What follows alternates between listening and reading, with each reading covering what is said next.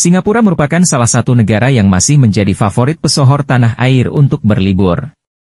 Selain dekat dengan Indonesia, di Singapura juga terdapat banyak objek wisata yang estetik sehingga sangat cocok diunggah di media sosial. Salah satu pesohor tanah air yang saat ini sedang mengunjungi Singapura adalah Fuji. Bersama dengan artis lainnya, Fuji bahkan sempat menjajal berenang di puncak Marina Bay Sands yang sangat terkenal.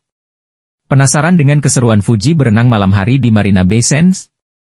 Yuk, langsung saja simak momennya berikut ini. Selain itu, selebgram Fuji baru-baru ini terbang ke Singapura. Mantan kekasih Tarik Halilintar itu ke Singapura bareng rekan artis. Hal tersebut diketahui dari unggahan di akun Instagramnya. Dalam kesempatan itu, Fuji tampak berenang di salah satu hotel di Singapura. Fuji tidak berenang seorang diri, melainkan bareng rekan artis untuk menghabiskan malamnya. Mereka bahkan sempat mengabadikan momen tersebut dengan berpose di kolam renang berlatarkan suasana malam di perkotaan Singapura.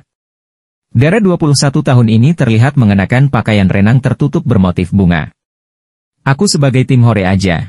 Larinya enggak hehehehe, tulis Fuji di Instagram, dikutip Minggu, 3 Desember 2023. Unggahan tersebut pun tak luput dari perhatian warganet. Namun banyak juga netizen yang salah fokus pada pakaian yang dikenakan Fuji. Bahkan mereka pun sampai memuji gaya berpakaian mantan pacar Tarik Halilintar tersebut karena tampil tertutup. Uti baju renangnya cantik, ujar netizen lain. Mantap, sopan banget baju renangnya, tulis yang lain. Uti tampak sopan, kata lainnya. Selain dingin, Fuji juga kayaknya jaga image-nya karena gak kebayang kalau dia sampai pakai bikini kayak yang lain. Pasti heboh, timpal warganet lain lagi. Tribun Lampung Co. ID Virginia Swastika, seperti yang kita ketahui.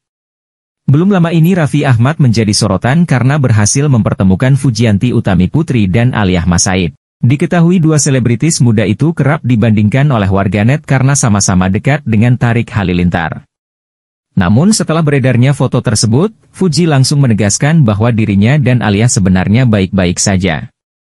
Hal itu pun kembali dipertegas oleh Alia ketika ditemui awak media pasca menghadiri sebuah acara. Hanya saja publik belakangan juga membicarakan adab Aliyah yang langsung berusaha untuk menjauh dari wartawan setelah ditanyai perihal momen pertemuannya dengan Fuji di Singapura. Dilihat di akun TikTok Asri Amelia 3, putri bungsu almarhum Aji Masaid dan Reza Artamevia itu awalnya semeringah membahas sederet aktivitasnya beberapa waktu belakangan. Hingga seorang awak media bertanya, Kak ada yang salfok juga nih di Singapura. Sontak Aliyah langsung terlihat berusaha mengalihkan pembicaraan hingga